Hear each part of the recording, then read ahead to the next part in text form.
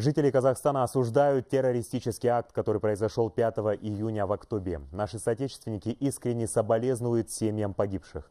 Тем, по чьей вине погибли люди, нет никакого оправдания. Это бесчеловечно. Террористы посягнули на спокойствие в нашей стране, на стабильность. И я считаю, что э, этим террористам нет никакого оправдания. Я хочу выразить э, соболезнования всем семьям погибших, погибших. Хорошо, слаженно отреагировала наша полиция.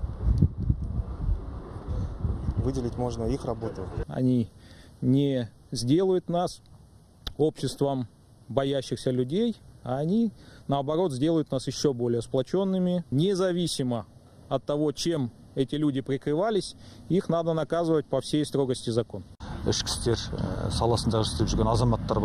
Военные и полицейские с честью исполнили свой долг. Мы должны сохранить мир любой ценой и сказать «нет» всем проявлениям экстремизма, радикализма и терроризма. Дело в том, что они произошли накануне священного месяца Рамадан.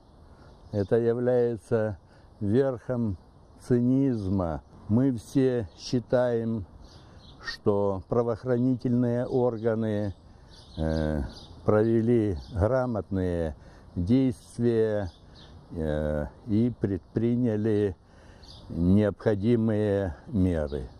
Хочу выразить соболезнования полицейским, их семьям, мне кажется, что каждый из нас должен осмыслить то, что произошло, и делать все для того, чтобы э, над нами было мирное небо, сохранять спокойствие и, самое главное, беречь наше единство.